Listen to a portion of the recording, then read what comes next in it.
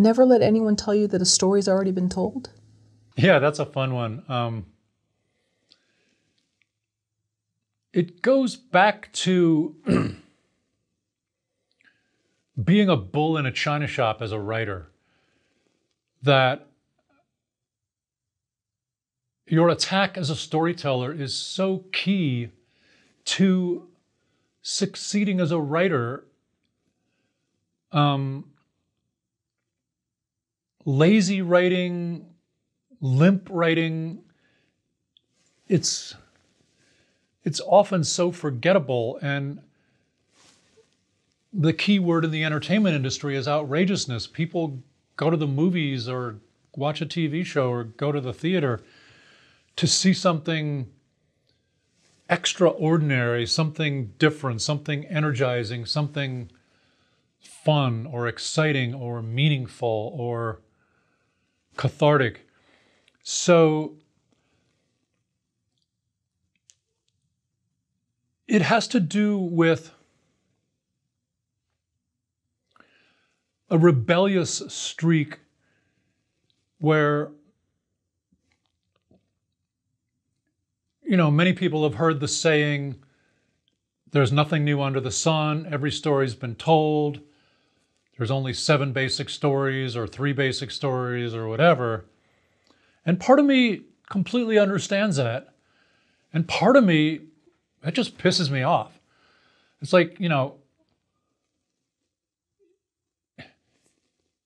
you can't tell me that I can't come up with something that that you've never seen that will it just it's like waving a red flag in front of a bull. It it just makes me mad. And it it brings out the attack in me and the the desire to shatter people's expectations and blow people's minds and take them where they've never been and just violate their expectations, violate my own storytelling rut. You know, it's, you know, think of a movie like Being John Malkovich. You know, it's like so off the beaten track. And I'm sure there was somebody telling the writer, oh, you shouldn't do that. That's not how stories go. It's like, it's just weak and it's it's such a lack of adventure and a lack of courage and and just you know one of my favorite terms is attack as a storyteller how much attack do you bring to the table what are what are the ways that you can dazzle an audience take them on a ride that they've never been on and if you accept the idea that you can't possibly come up with something that nobody's ever seen then it, it kind of takes the wind out of your sails in a certain way. It says you're you're not all that creative. You can't come up with something. It's like I I refuse to play that way. I go the other end of the spectrum. I always want to know what are the extremes in any story idea. Just to see what they are often, you know, you'll find yourself if you're trying to solve a story problem where you got to figure out a specific thing in a story where there's kind of a normal set of possibilities and then there's unusual possibilities and then there's extreme possibilities and like for instance the coen brothers say that if somebody can figure out our next move, if they had a week to figure it out and they can figure it out in a week, we're not going to use it. They go way above and beyond shaking up your expectations, violating your expectations.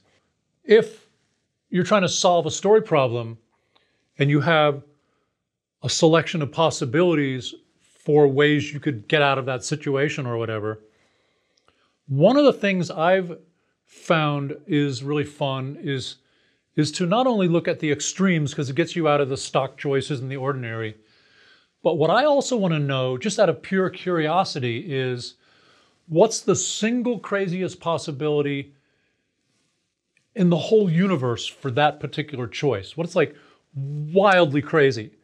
And usually it won't work at all. But sometimes you'd be like, well, that's interesting. If I backed it down a few notches, it could start to fit into my arena. And it's really fresh and different and takes the story in a different direction and shakes up the character. And every once in a while, that single craziest idea works brilliantly in a completely unexpected way.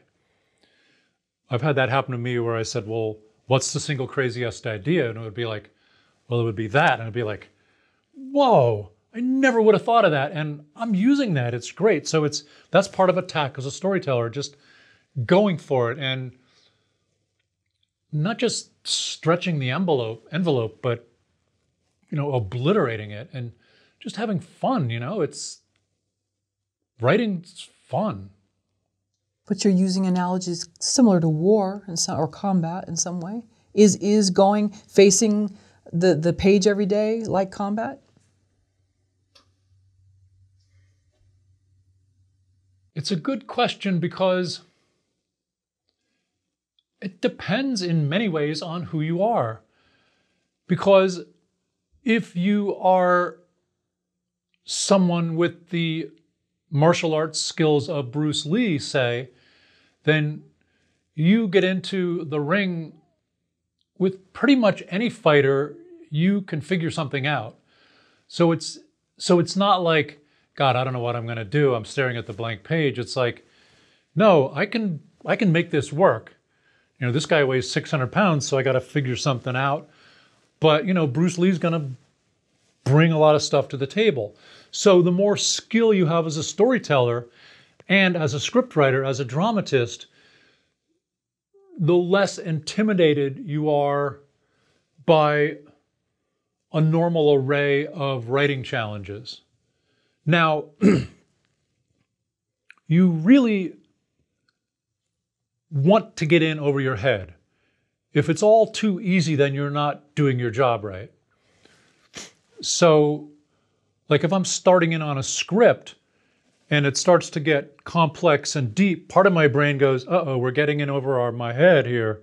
And the other part of my brain goes, yeah, that's, that's good. That's where you want to be. And they say that writers are like show horses. They're not happy unless they're trying to jump over something that could kill them. And I was thinking about that last night, and I found a actually much better analogy is that writers are like extreme rock climbers or something. They're not happy climbing something unless it could well kill them. If it's too less of a challenge, they're like, they're bored. That's they get their adrenaline from the fact that nobody's ever climbed this cliff and they're doing it with no ropes and they're hanging by, you know, like two fingers on a piece of rock that big and they're like, this is fun. This is life. And they don't want to do anything else. They even found that the like the combat nurses and medics who came back from Vietnam couldn't go back to a normal job. It was too, I can't sit in a corner and file papers. So they ended up as like emergency room physicians and, you know, frontline cops. So like they had to be in in the deep stuff to because it was it didn't cut it anymore for them. So the more craft you bring to the table, the less intimidated you are by the material, but you also want to be in over your head. Uh, they said that Bob Marley, who grew up on the water, when they got bored, he and his brother would swim out to sea as far as they could until they were completely exhausted, and then they'd try to make it back to shore. That was their idea of like a fun afternoon. So it's kind of like that. It's like the material should challenge you, but you should also be throwing hand grenades into your own story ideas to make your job harder to challenge yourself.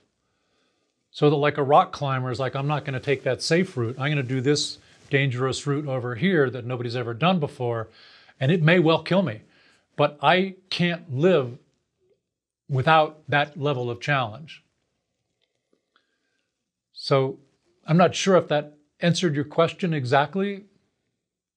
I think it does. I think that basically you're saying you need to be stimulated but not bored and, and it can't be too easy.